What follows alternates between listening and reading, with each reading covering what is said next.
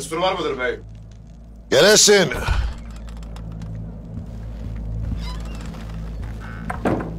Beyim.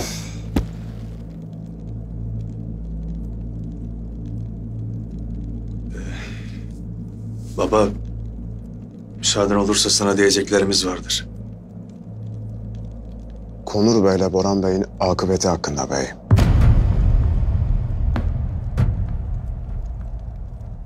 Divanda herkesle bir öğrenirsiniz. Baba. Konur Bey senin ordunun başı. Boran Bey ise senin sırdaşın, kardeşin. Senelerce sana hizmet ettiler. Şimdi akıbetleri böyle mi olacak? Ordunun başı nizamdan şaşarsa, kendimden ayırt etmedi,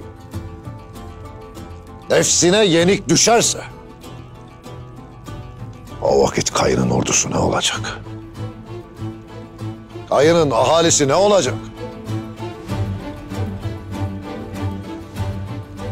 Koca Çınar'ı yakacak olan bir tane kıvılcım. O göklü çınarı kimsenin yakmasına müsaade etmem. Şimdi yaptıklarının cezasını elbet çekecekler.